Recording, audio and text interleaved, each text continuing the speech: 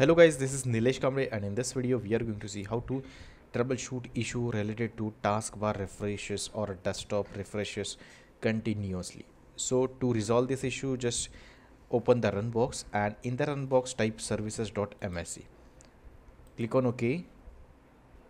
Select any of the service and press press W key on your keyboard and then check for Windows error reporting service. Currently this service is is set on automatic double click on it and then startup type would be disabled. Select the startup type as a disable and then click on apply. Click on ok and then check if if issue is resolved or not. If the issue doesn't resolve then right click on the start menu and then click on settings once you click on settings you will see the find a setting search box here. Type troubleshoot.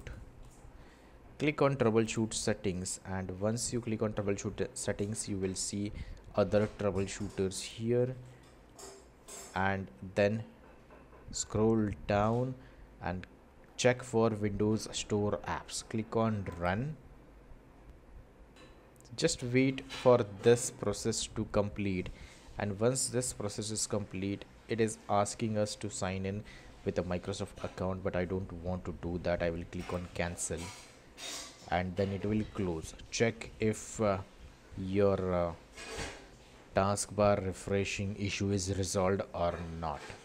So thanks for watching this video. If you like this video please hit the like button please hit the subscribe and press the bell icon to enable notifications for future videos. Thanks and bye bye